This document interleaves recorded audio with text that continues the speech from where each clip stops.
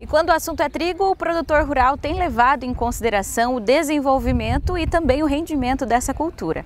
Para falar com a gente sobre esse assunto, nós vamos conversar com Lua Gustavo, que é da OR Genética. Lua, seja bem-vinda ao Agrofag, obrigada pela participação.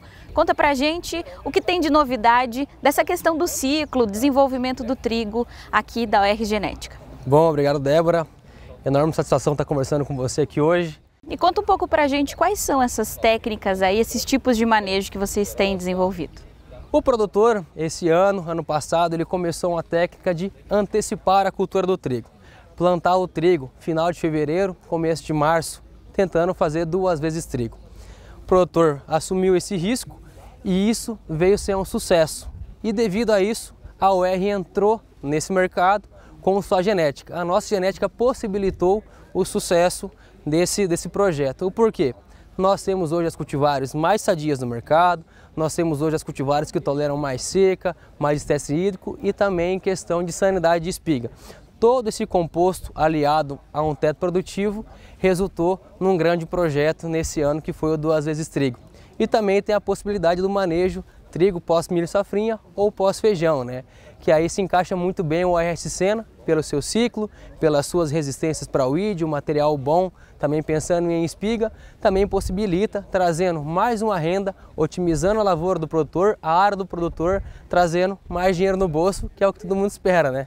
Então essa questão do trigo hiper precoce, né, como você tinha comentado com a gente, então ele é sim viável e é uma opção para um terceiro plantio. Sim, o, o trigo hiper precoce ele vem se encaixando como uma luva.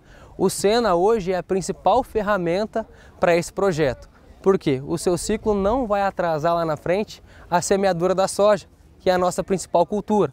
Então o Sena hoje, como eu comentei, aliado a todo o seu pacote e o seu ciclo, traz para nós uma produção e vai trazer também condições de, de semeadura melhor para o soja, em questão de palhada, vai ter um melhor controle de planta daninha, vai ter vários benefícios aliados para o produtor. Hum, e conta um pouco para a gente essa questão da produtividade, como que essa cultura ela se destaca em números, né? A questão de produção mesmo. Sim, o seno é um material que tem um potencial produtivo muito alto, pois ele tem um PMS de 44 gramas.